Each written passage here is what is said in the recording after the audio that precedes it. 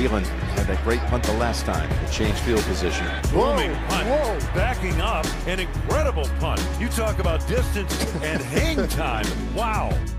I can't say enough great things about him. He definitely had a huge impact. I mean, when you average, what was it, 56.8 yards a punt, he's definitely the best I've ever been around.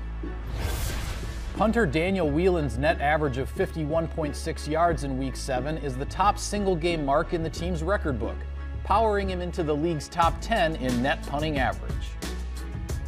That distance could prove pivotal this Sunday as Jacksonville leads the NFL in yards per punt return. Thanks in very large part to Parker Washington, who last Sunday recorded the longest punt return in Jaguars history. Makes a beeline past the 20. He's got some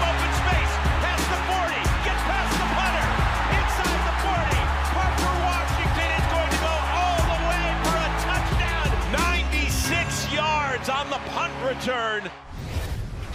And while we're in the neighborhood, Packers fans are still buzzing from Sunday's comeback victory off the foot of Brandon McManus.